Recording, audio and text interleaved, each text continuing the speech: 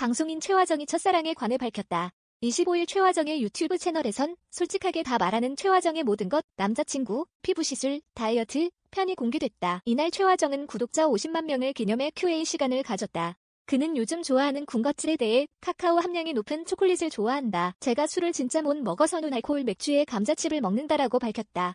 대식가로 알려진 최화정은 라면 두 개까지 먹는다. 라면이 근데 바뀌면 괜찮다라며 종류만 바뀌면 계속 먹을 수 있다고 말했다. 그러면서 대식가 면모는 지방 가풍이다. 엄마가 정말 자주 드시는데 말라다.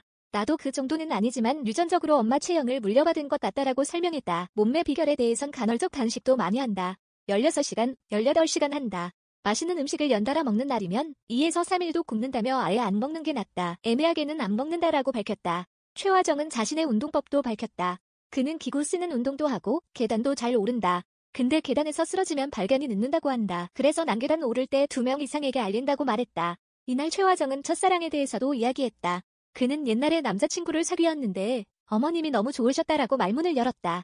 최화정은 어머님이 밥을 다 먹고 밥그릇에 물을 부으면 부자가 된다고 하셨다. 다른 친구들은 다 따라했는데 나는 부었다. 그 말 떨어지자마자 따라하는 게 속보이는 것 같아서라고 말했다. 이어 그 엄마가 얼마나 내가 미웠겠냐. 그 정도로 수줍었다.